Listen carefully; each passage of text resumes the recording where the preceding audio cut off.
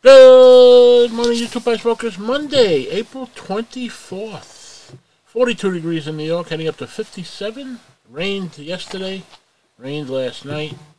Cloudy all week, kind of chilly. Be kind, even on your bad days. If everything was perfect, you would never learn and you would never grow. There's no elevator to success. Take the stairs. If it comes, let it. If it goes, let it. What you allow is what will continue. Have a great day. Monday, back to the grind if you're working. If you're not, well, good for you. I hope you're out fishing. Anyway, be well, stay safe, and thank you.